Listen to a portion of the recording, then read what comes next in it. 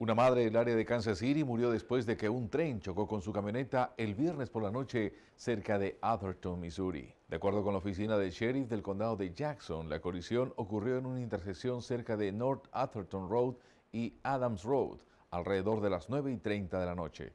Un tren de Amtrak con más de 100 pasajeros a bordo golpeó una camioneta que según los informes condujo alrededor de la barricada. Angie García vive en Houston y dice que su hermana Jennifer Norris, de 41 años, murió en la colisión.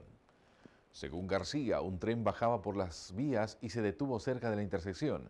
Las barricadas seguían bajas, pero un vehículo frente a Norris los rodeó. Entonces Norris también lo hizo. García dice que debido a que un tren ya estaba detenido en las vías, Norris probablemente no vio el Amtrak también. Simplemente pierdas la paciencia sentado en la vía del tren todo el tiempo, dice García.